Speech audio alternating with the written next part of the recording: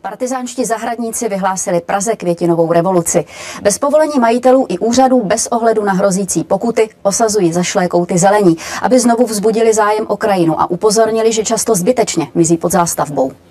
Je 9 hodin večer. Na Pražské letné právě začíná utajený květinový protest. Ilegální zahradníci si vyhlédli haldu hlíny a písku, do které vystřelují prakem cibulky narcisů, krokusů i tulipánů. Je to svýho druhu jakoby squatting veřejného prostoru, který nenutně musí někomu patřit. Jo, v případě jako tady té haldy, že jo, jako komu tahle ta halda patří, jo, jako patří městu nebo patří jako lidem, kteří tady bydlejí. Chceme, aby se vlastně z ničeho nic tam objevily ty krásné kitky a ty lidi si toho všimli.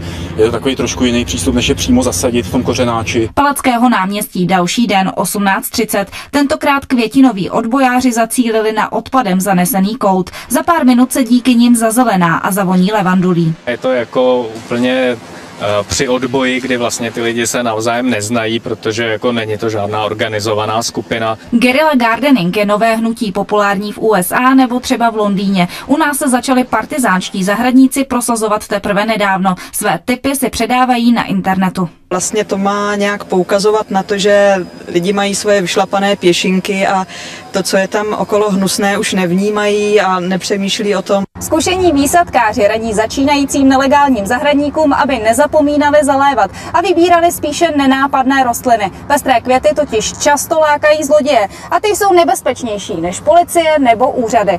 Iva Němcová, Česká televize. Události končí za okamžik je střídá sport. Bude v něm hodně míčů.